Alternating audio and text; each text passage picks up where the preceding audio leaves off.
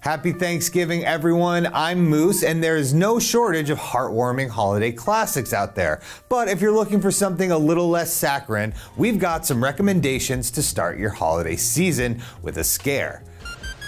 Now that's what I call foul play.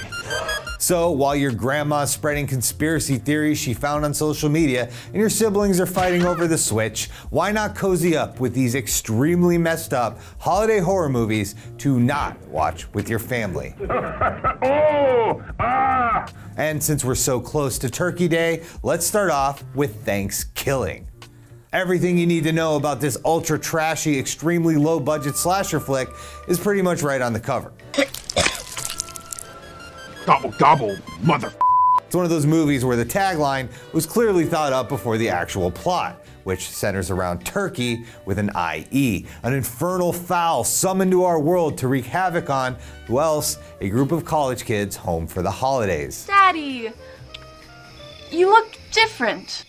Oh, Oh, you got a haircut. yeah. Thankskilling is extremely sleazy, campy, and cheap. It was made for only $3,500. But if you can get past the terrible puppet and you have a strong stomach, it's certainly the most violent movie involving killer turkeys since Jurassic Park. Besides, it's barely over an hour long, but if you still want more, there's also a sequel called Thankskilling 3 because reasons. Ah. Do I smell sequel? Beyond! It's refreshing to see a celebration other than Christmas represented in horror movies, but if your inner Scrooge is a true holiday humbug, you can enjoy some non denominational snowy slaughter with Jack Frost.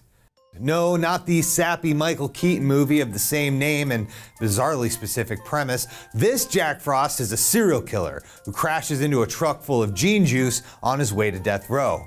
And there must have been some magic in that mutagen he found, because when he doused it on his head, he transformed into an abominable snow monster who brutally murders people with icicles. Hell are you? World's most pissed off snow cone. Ah!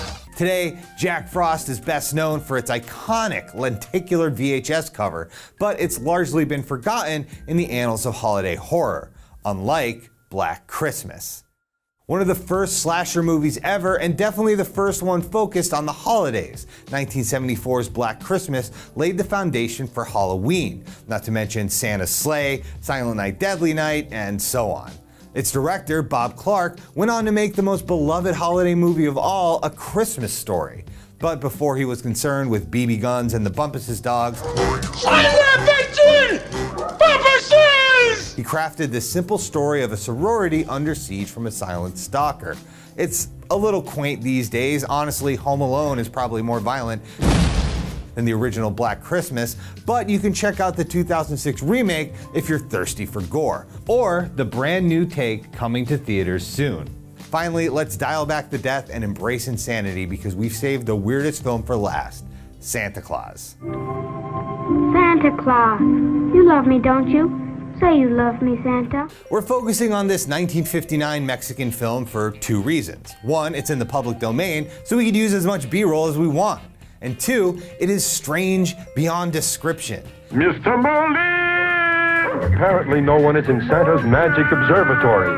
Instead of the North Pole, this Santa Claus lives in a castle in outer space with his best friend, the wizard Merlin, the Roman god of blacksmiths, Vulcan, and an army of robot reindeer.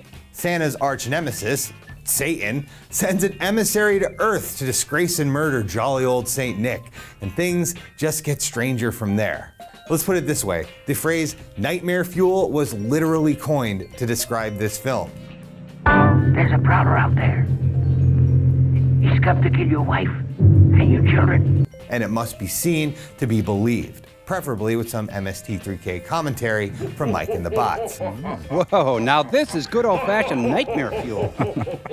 Now, I realize we've only scratched the surface of strange seasonal cinema. We could go on for hours, but I really, really need to see about some mashed potatoes and pumpkin pie. So until next time, have a wonderful Thanksgiving and a happy holidays from all of us and Now This Nerd. Thanks for watching, everyone, and happy Thanksgiving. 2019 was such an amazing year for nerd culture. Endgame, Rise of the Skywalker, Hideo Kojima's Death Stranding. We're grateful for a lot. So, what are you thankful for in the year that was 2019? Leave a comment, let us know, and as always, please subscribe to Now This Nerd.